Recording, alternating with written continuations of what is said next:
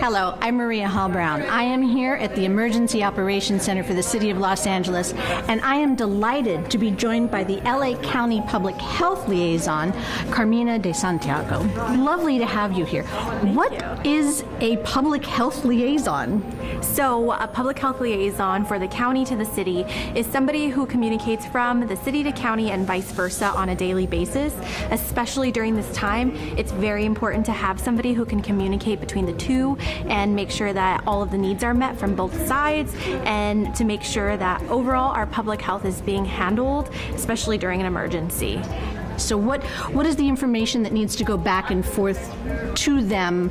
Obviously, tallies of people that have uh, been diagnosed with COVID 19, unfortunate tallies of people who have passed. I mean, what other things need to be communicated? So it could mean a variety of things from something as small as hand sanitizer to something as large as a homeless shelter or a, a mobile. Uh, you know, testing site. And I'm joined by someone who is no stranger to emergencies, Chris Ipsen. He's here with the Emergency Management Department. You have been with a wide range of interesting uh, incidents for a long period of time, have you not?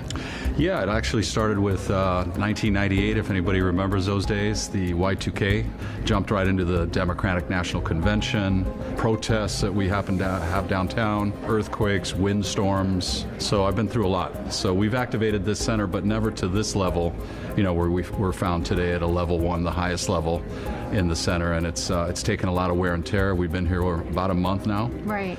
And so this is unprecedented times for not only the city, but for the entire country and the world. I am joined by Daniela Pacro, who is in general services, and I don't have a clue as to what that means. So basically, general services, um, we supply most of the departments within the city with all the commodities that they need. Um, anytime they need something, they come to us with a request, and we're able to get that to them over the last month, you've said this is at level one, and everybody has been, you know, fully on alert and doing everything humanly possible. Is this something that you could have anticipated in your career seeing happen? Is this beyond anything you could have imagined? I mean, from a personal standpoint, obviously from a professional standpoint, you know, you've got that handled, but just knowing what you know and being around what you've seen. Well, actually, pandemics. We we've talked about pandemics. We've done some uh, tabletop exercises, mm. and when we went ahead and we were doing the drills, it was very interesting. The responders uh, were saying uh, it could never get this bad, you know. So that was kind of the mentality. We thought about it. Uh, personally, you know, we we got impacts at the house. Children doing online school. Uh, you know, your kid from college comes back home. Those kinds of issues. Uh, you know it's uh, it's a new world. Uh, the freeways, I'm still not used to the uh, 35, 40 minute commute. That's normally an hour and a half for somebody that lives in Ventura County. So, you know, it's uh, it's a weird sense of. Um, you know what's the new world going to look like is one of the things that i think about is are people going to be allowed to telecommute more uh, you know so what are the things that come out of this what's the new normal look like and have things kind of, I don't want to say calm down, but I mean, has there become like a flow, a routine that people have gotten more familiar with in order to be able to communicate across departments and communicate from city to county, et cetera? Yes, actually, we didn't expect something to happen like this, so a lot of people weren't educated on this particular topic of a pandemic. But now that it's been a month since the pandemic happened, and now that we uh, are in this na- uh, national emergency for about a month, I feel like people are more familiar with this process and they're more familiar of how to handle and cope with it. And right now, we're just focusing on recovery and making sure that our supplies needs are met for the upcoming year.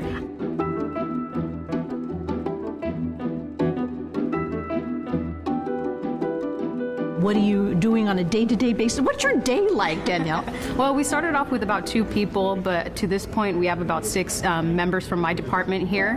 Um, and essentially, we're doing the same thing as we do on our day to day. We're supplying um, all the departments that are activated during this emergency with supplies that they need. So, N95 masks, surgical masks, hand sanitizers, disinfecting products, everything that is essential during this crisis, we're helping the city provide. We primarily like to tap into our resources that we have in our warehouse, in our main warehouse. If they don't have the products that we need at our warehouse, then we do go to our contract vendors. just because we're in the middle of a pandemic doesn't necessarily mean that something else can't happen. It's like you know, there could be a fire, an earthquake, or something that is more typical of a Los Angeles uh, scenario. Is there a plan to have both in place as this is going on? Yeah, so um, one of the things we've been looking at within the last several years is uh, coordinated, very complex attacks from a terrorist being over a, over a freeway shooting at people, uh, an explosion in the downtown area. So we always look at multiple scenarios within one event.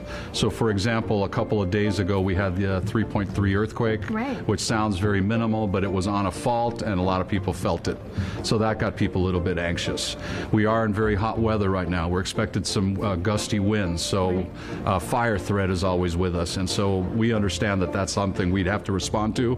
Now we we know the center's open, so we feel we have that warm start we always like to have, uh, but people are worn out and they've been here a long time. So how are they going to respond to dealing with a fire threat? Let's say that were to happen.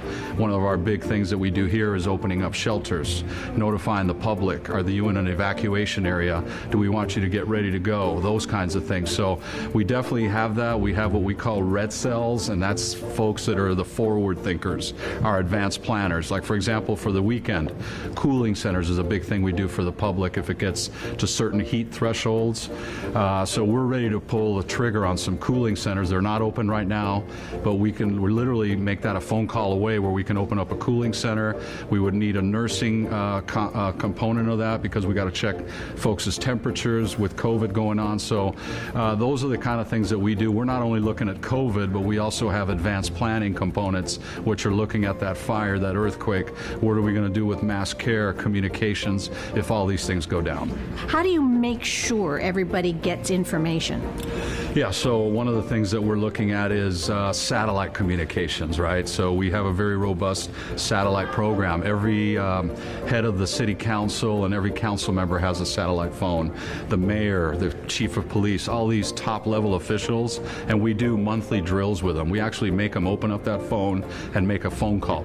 We do have backup generation capabilities in this building, so if the power were to go out, we have the capability to still transmit. Uh, we use the internet, social media. I mean, we're looking at every way to get the information out. Our thing is we have one message, but many messengers. We're looking at Nextdoor, Facebook, Instagram, all of those social media components. Obviously, traditional media. Technology moves so fast. Right. How do we keep up to it, and uh, how do we leverage all that information? When we're not in a pandemic situation and a crisis to this degree, what, is, what exactly does General Services do for the city of Los Angeles? Um, like I mentioned, we supply anywhere from office supplies to furniture for the departments, um, traffic cones. Um, we support our fleet department and all the other departments within the city to get them exactly all the physical items that they need to do their job on a day to day basis. So when this is all calmed down somewhat and the storm has, uh, you know, rested a bit, uh, what happens with you? What happens with your world? So we still prepare for uh, public health emergencies. So stuff that we may not think will be an issue, just like a mass pandemic. We never thought that we, this would be another issue since 100 years ago, mm-hmm. but we got to prepare in case anything happens. One of the big plans that I, I focus on here is our medical countermeasures, our mass prophylaxis uh, of dispensing plan, oh, okay. which basically means that if we get hit with any anthrax attack, we have an emergency stockpile and we'll be able to help people out. We have to make sure to check that our stockpiles are okay, they're up to date, and they're not expired, and we got to uh, put more supplies in there if needed. You understand how important it is what it is that you are doing, correct? I appreciate that, and I've been told that a few times. And I actually was called a first responder by somebody the other day, and that kind of touched my heart. I mean, we typically think of first responders as fire, police, nurses, and doctors and all that. So, I mean, just for people to understand that we are there to support the city as well, it, it really warms our heart as well thank you for doing all of this wonderful work because it, without people like you and without people in this room, you know, it could be a lot worse. So congratulations and thank you very much. Thank you so much, and thank you so much for having me. Thank you for having us on and uh, sharing the message out there with the Angelenos. My pleasure.